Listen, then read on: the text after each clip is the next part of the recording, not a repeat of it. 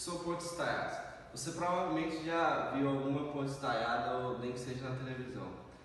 São as pontes que é, apresentam cabos de sustentação, mas que levam o nome de estaios, é, ligados a, um, a, uma, a mastros periféricos, a pilares periféricos, ou em casos de mais de 150 metros de vão, um pilar central ou mais. É, a ponte estaiada ela só é vantajosa a partir de 150 metros, porque é, para vãos menores de 150 metros, as pontes de as pontes normais elas são mais vantajosas porque elas demandam menos material e a mão de obra é mais barata.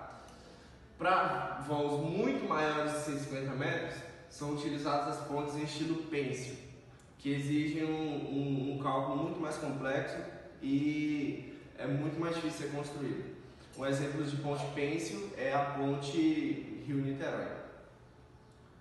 É, no Brasil, nós temos a ponte Otávio Frias Oliveira, localizada em São Paulo, que ela, ela é um, um exemplo de ponte estaiada.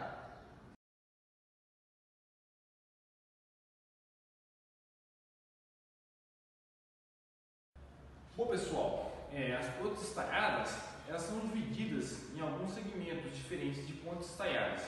É, a diferença pode parecer a princípio apenas visual, é a diferença visual, mas também tem uma diferença no estilo de construção, nos gastos de construção e existem dois estilos aqui divididos a ponte estaiada, que é o estilo A e leque. Está aparecendo aqui no quadro, mas como deve estar muito legal para enxergar aí, vai aparecer na tela aí um exemplo de ponte estaiada em arco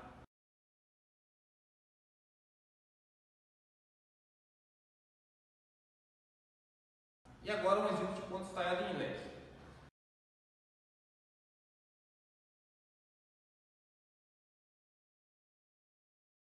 Bom, uma é utilizada por sua beleza e a outra é utilizada por sua praticidade. No entanto, a mais bela é mais cara de se construir e a outra mais prática não é tão bela assim para ser utilizada quanto a mais cara. Então o que, que o pessoal fez? O pessoal criou um estilo misto entre as duas que constrói. E fica tanto mais barato quanto mais belo. É um, um estilo bem legal. Vai aparecer inclusive na tela agora um estilo de ponte mista.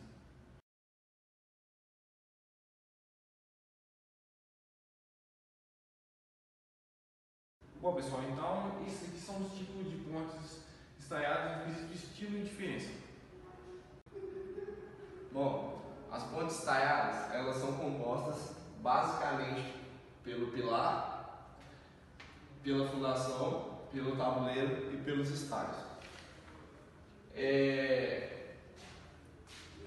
O pilar ele tem a função de suportar toda, todo o peso é, exercido na ponte e todo o peso da estrutura, claro. É, os estágios eles têm a função de distribuir a força, peso que passa pela ponte e exercida pela ponte. Ela distribui esse peso para os pilares e os pilares para a fundação. A fundação, obviamente, ela tem é, a função de sustentar os pilares. O tabuleiro é por onde passa o, o devido, devido automóvel ou trem ou qualquer outro tipo de, de veículo, ou até mesmo pessoas.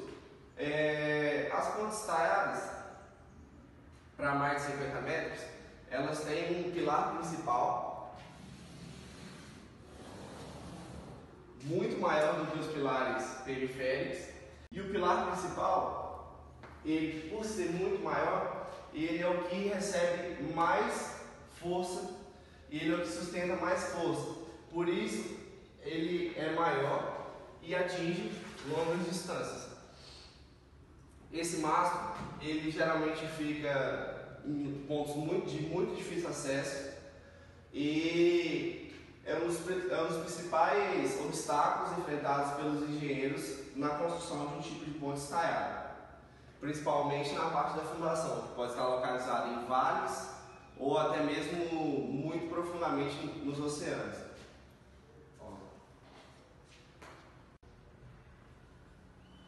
Bom pessoal, agora que vocês sabem as partes que são uma ponte, nós vamos falar do que, que são feitos normalmente em cada uma dessas partes da ponte estaiada. Bom, vamos começar aqui pelo mastro da ponte. Bom, do que, que são feitos esses mastros da ponte? Dá para essa imagem do mastro aí.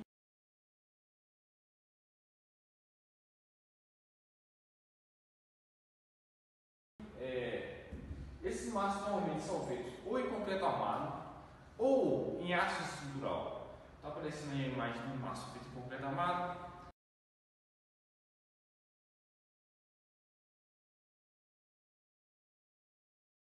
agora é mais de um aço feito em aço estrutural.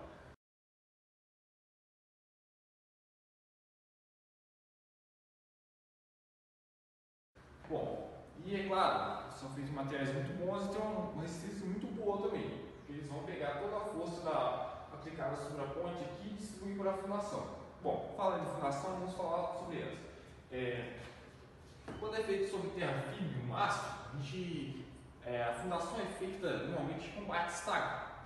E quando ela é feita sobre a água, por exemplo, sobre o oceano aí, que vai fazer uma ponte estaiada lá no meio, sobre um rio, com profundidade muito grande, não se, fala, não se usa bate-estaca, usa-se uma fundação pivotante, que é uma espécie diferente de fundação que é muito boa também para esse tipo de aplicação.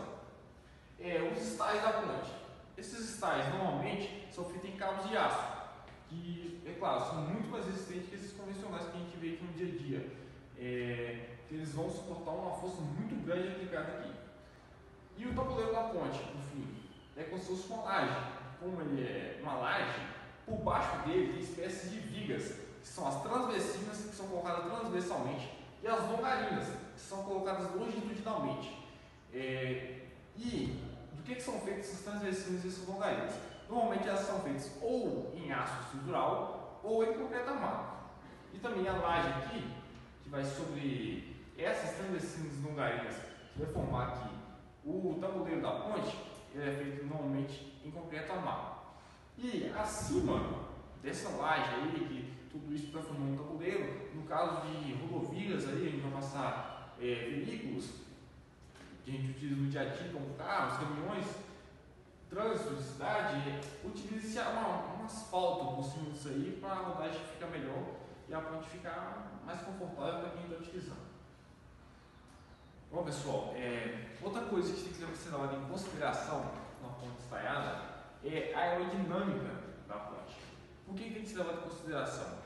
Normalmente, é, pelos comprimentos desse tabuleiro aqui, é, pelo vão ser muito grande, esses massas a uma altura muito grande. Então o que acontece? Você para pensar, quando você, por exemplo, vai num terraço de um prédio de uns 7 andares, 8 andares de altura, a uns 20 e poucos metros de altura aí, você já começa a sentir o vento bem mais forte que quando você está na superfície, por exemplo. Agora imagina num mastro que está lá com seus 70 metros de altura, por exemplo. Aí. Imagina como é que é a força do vento em cima desse mastro aqui. Bom, então, para evitar problema de ressonância nessa ponte aqui, pode fazer, provocar vibrações, pode até derrubar a ponte. Os engenheiros, quando estão projetando a ponte, eles fazem uma miniatura dessa ponte e deram um túnel de vento testam, vão ver se funciona tudo direitinho e adaptam essa ponte aerodinamicamente para não ter problemas futuros. É, inclusive tem um exemplo de uma tragédia que ocorreu nos Estados Unidos da ponte Tacoma Narrows, que caiu, por quê? Não levaram em consideração isso, começou a dar um vento fraco consideravelmente, né, de 60 e poucos quilômetros por hora. O que aconteceu? A ponte começou a sofrer ressonância. E ela até se retorceu toda. Retorceu toda e caiu, né? A ponte, por ser de aço, ela, ela começou a balançar muito e o aço ficou todo contorcido. Ainda bem que já aprendeu com isso aí, né? E agora o pessoal está levando a aerodinâmica em consideração. É, outras coisas a serem consideradas também no, numa ponte estaiada é que a força-peso, que é a força da massa vezes a aceleração, ela exerce uma força tremenda no tabuleiro. Pensa só um, uma laje. Você pode não acreditar, mas uma laje leva pelo menos uns de 2 a 3 toneladas, mais ou menos, uma laje de uns 10 metros quadrados. Agora imagine um tabuleiro de mais de 150, 150 metros. É uma força tremenda. Aí esses mastros, que tem a função de suportar todo esse peso, é, suportam através de grandezas vetoriais. O que acontece? Os styles, eles exercem uma força na direção para dentro do, do tabuleiro. E os pilares exercem uma força na direção da fundação. Consequentemente, os pilares eles acabam ficando na direção de um vetor resultante de força, fazendo assim com que a ponte entre em equilíbrio. Também é, é, é preciso considerar o seguinte: na ausência de um pilar central ou mais pilares centrais, os pilares periféricos é, recebem um tabuleiro maior além dos seus pilares para que gere um equilíbrio no caso das pontes em formato de leque que levam menos styles, eles precisam de um maior tabuleiro para que dê equilíbrio aos pilares. E também é necessário se considerar o, a termodinâmica, porque imagine só a ponte de São Francisco, em São Francisco, nos Estados Unidos, por exemplo. Os cabos de aço. E na maioria, na maioria dos casos, as pontes em style, os tabuleiros embaixo, são feitos de ferro, de aço na verdade. Por que de aço? Porque o aço ele suporta mais de 7 metros de comprimento de tração. No, ao contrário das vigas de concreto. Quando você usa vigas de concreto para mais de 7 metros, você tem que usar compressão para que ela não, não se rompa. Então, deve ser considerado o cálculo termodinâmico, porque essas pontes elas apresentam grandes quantidades de aço nos seus styles e nos seus tabuleiros. Mais uma coisa? O vídeo. É, pessoal, a gente vai deixar aí na descrição aí embaixo um vídeo muito legal mostrando uma construção de uma ponte estaiada, né? O pessoal pode gostar de ver, muito interessante. O pessoal assiste aí. Obrigado. Pronto.